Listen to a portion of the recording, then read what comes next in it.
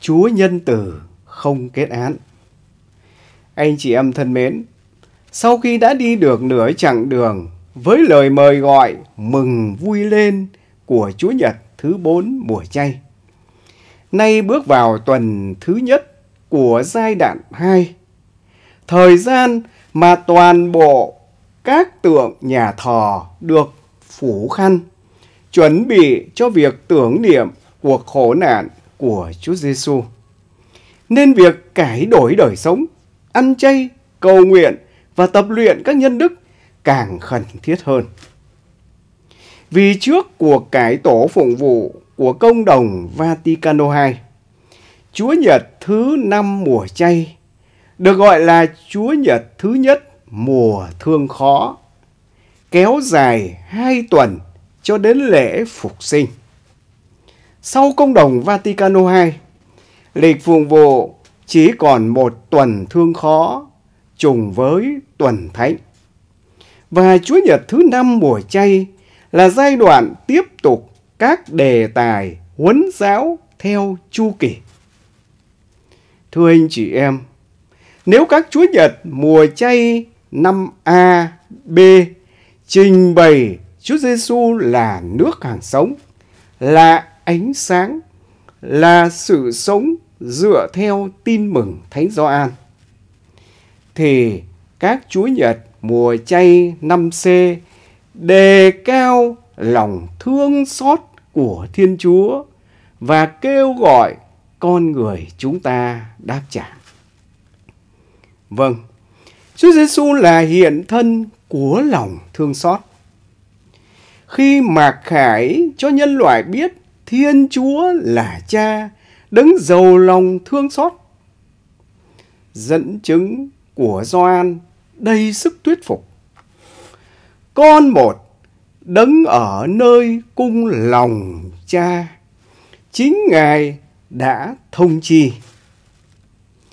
Chân lý về Thiên Chúa được cụ thể hóa nơi Chúa Giêsu Kitô. Đấng đầy tình thương xót. Đấng ghét tội và yêu thương kẻ có tội. Không dung túng tội lỗi, nhưng khoan dung với tội nhân. Vì Thiên Chúa không muốn kẻ gian ác phải chết, nhưng muốn nó ăn năn hối cải và được sống. Đoạn tin mừng Gioan chương 8 từ câu 1 đến câu 11 là bằng chứng hùng hồn về lòng thương xót của Thiên Chúa đối với tội nhân. Thánh Gioan kể lại việc người ta đem đến cho Chúa Giêsu một phụ nữ bị bắt quả tang phạm tội ngoại tình.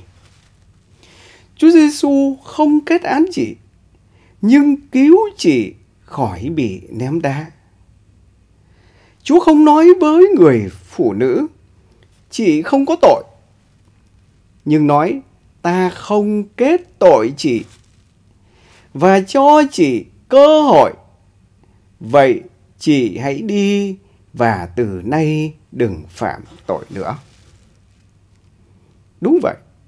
Chỉ một mình Chúa Giêsu mới có thể cứu rỗi con người.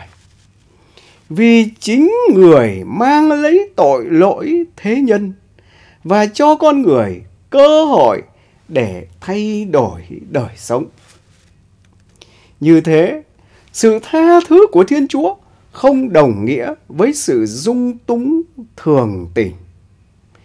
Tha thứ có kèm theo điều kiện. Không có nghĩa là bỏ qua sự giữ. Hay tệ hơn nữa là chối bỏ sự giữ.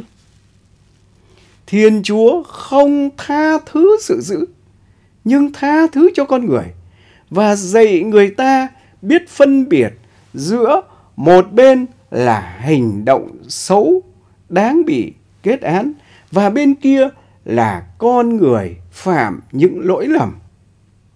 Là người mà Chúa muốn ban cho cơ may để thay đổi đời sống, làm lại cuộc đời. Trong lúc con người có khuynh hướng đồng nhất hóa người phạm tội với tội lỗi. Và như thế là đẩy người có tội vào ngõ cụt, không có lối thoát. Lòng Chúa cao cả hơn lòng chúng ta. Thiên Chúa Cha lại hành động cách khác.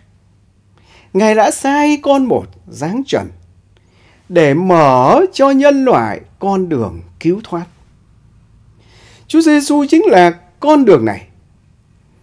Khi chết trên thập giá, người đã cứu chúng ta khỏi tội.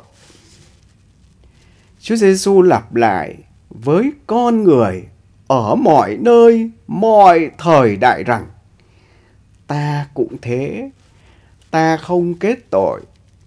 Vậy hãy đi và từ nay đừng phạm tội nữa. Khi nghe những lời trên, làm sao chúng ta không cảm nghiệm được một niềm tín thác trào dâng trong tâm hồn?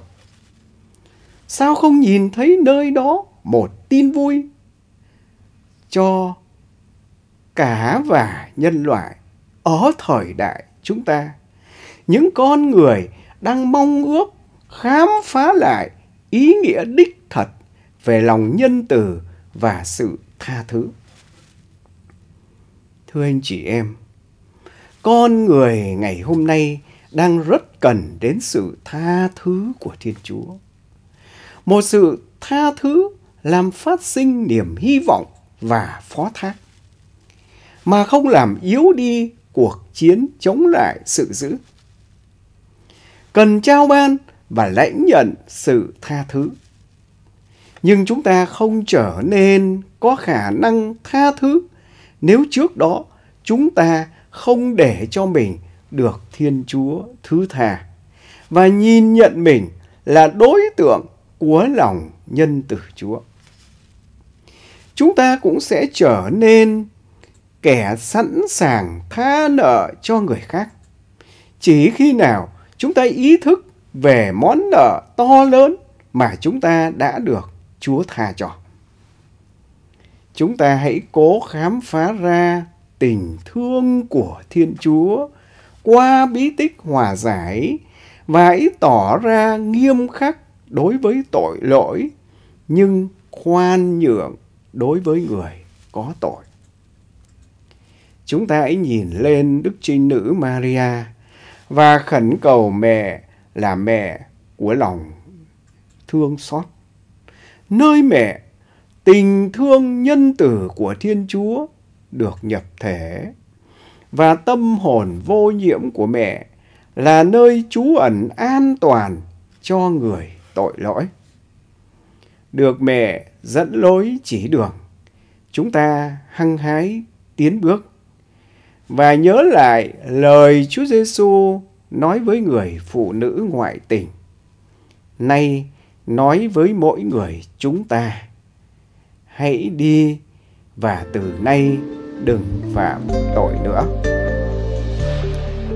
Lạy mẹ Maria, xin giúp chúng con đón nhận với niềm vui đã được canh tân, tiếp nhận hồng ân cứu rỗi, ngõ hầu chúng con gặp lại được sự tin tưởng và niềm hy vọng để bước đi trên con đường mới.